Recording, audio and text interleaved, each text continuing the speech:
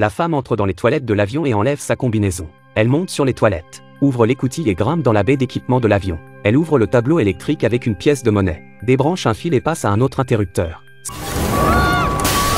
Sans savoir ce qui se passe, tout le monde attrape inconsciemment son masque à oxygène et le met en place. La femme a ensuite débranché un autre fil, l'a dévissé et l'a remis en place, ce qui a provoqué un court-circuit. Les lumières de la cabine s'éteignent instantanément. La femme a profité de la confusion pour sortir des toilettes en courant. Elle a trouvé un ascenseur caché et est descendue dans la soute de l'avion. Elle fouille l'ascenseur de la soute. Sa fille venait de disparaître de l'avion. Elle connaissait très bien l'avion parce qu'elle était conceptrice d'avion. Peu de temps auparavant, le mari de Kyle a fait une chute mortelle. Cela a profondément blessé Kyle et sa fille. Kyle a souvent des visions dans lesquelles son mari est toujours en vie et attend qu'elle rentre à la maison avec lui. Sa fille ne pouvait pas dormir la nuit et avait même peur de sortir, obligeant Kyle à la couvrir d'un manteau. Kyle a quitté son emploi pour ramener sa fille aux États-Unis.